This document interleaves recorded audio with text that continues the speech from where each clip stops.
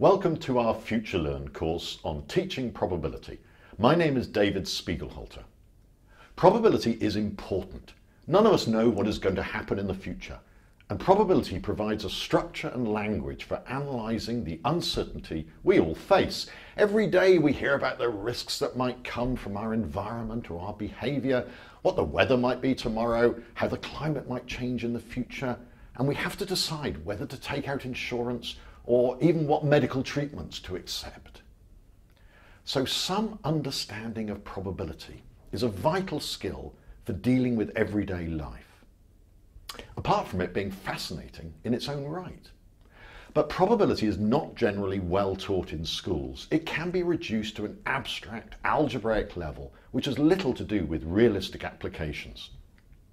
Also, the curriculum often jumps very quickly from obvious things such as a 1 in 6 chance of getting a 6 on, when throwing a die, to combining probabilities, which is much more complex than generally is given credit for.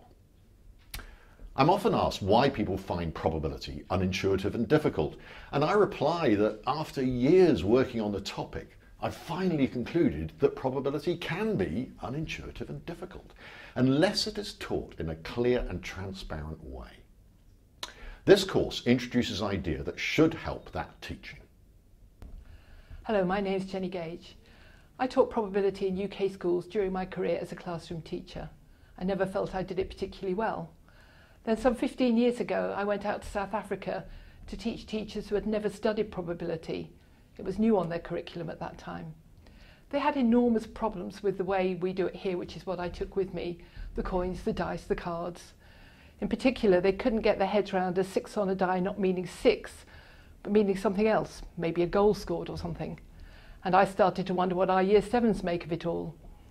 At the same time, I'd started working with David Spiegelhalter and was really impressed with his approach, using whole numbers as far as possible. A colleague in South Africa gave me the idea of spinners, and a new way forward opened up. I worked on the classroom resources both with South African teachers and with classes and teachers in the UK. Eventually, David and I felt we had enough material to write a book, which proved very timely, as the new GCSE curriculum in the UK, for instance, uses the idea of natural frequencies, whole numbers. And so the book and the course are very much of the moment. This week, we will start by trying to pin down what we mean when we talk about probability and give you a chance to reflect on the importance of this topic. We will then fairly quickly get down to some practical ideas for teaching probability, getting you to do experiments, collect the results, and represent the outcomes in a range of ways.